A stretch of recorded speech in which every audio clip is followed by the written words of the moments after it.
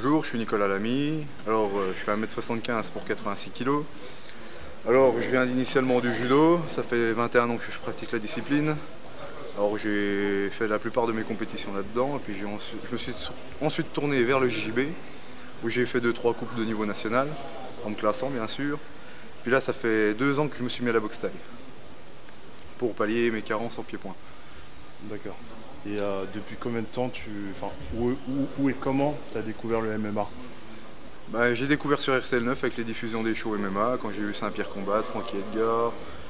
Bah, mon tout premier combat, c'était Saint-Pierre contre Fitch que j'ai découvert.